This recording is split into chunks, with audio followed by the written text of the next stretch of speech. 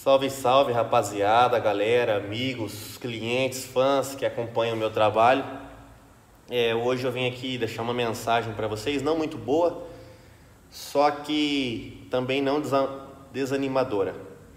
Galera, é, algum tempo eu venho sofrendo com problema de saúde físico que tem me incomodado bastante e eu tenho lidado com isso como eu lido com qualquer outro problema que já me aconteceu, como se fosse um obstáculo e eu tivesse que passar por ele.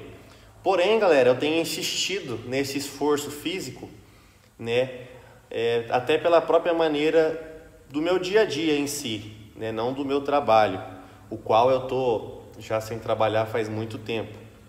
Então isso tem me levado a um estado de dor extremo. É, ultimamente eu ando tomando muita medicação forte, e galera, isso tem sido muito prejudicial para a minha saúde.